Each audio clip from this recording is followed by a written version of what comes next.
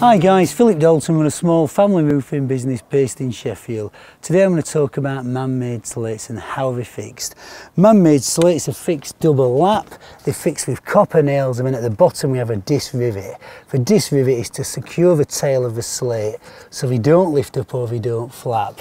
As opposed to natural slates like on the roof next door, you can see at the bottoms, you know, they do get quite loose. So that's why you know, man-made slates have a disc rivet so they can't lift it with the wind.